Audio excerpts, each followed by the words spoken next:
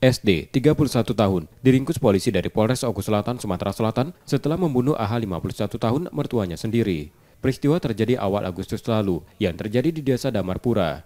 Tersangka melakukan perbuatan tersebut karena korban menurut tersangka terlalu ikut campur urusan rumah tangganya dan mendukung anaknya bercerai dengan tersangka. Korban dibunuh dengan balok kayu yang sebelumnya disiapkan tersangka dengan memukul di bagian belakang korban. Si pelaku ya, mempunyai niat untuk menghabisi mertuanya. Sehingga pada hari tersebut pelaku masuk dengan sudah mempersiapkan perlengkapan ya, kayu dan golok atau parang yang sudah disiapkan sehingga pelaku masuk dari pintu depan cari korban kemudian korban berada di dapur ya.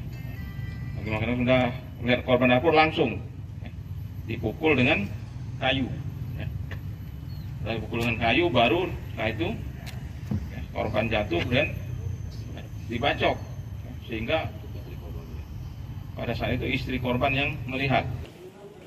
Tersangka terancam hukuman penjara seumur hidup. Setia Budi, Kompas TV, Ogan Komering Selatan, Sumatera Selatan.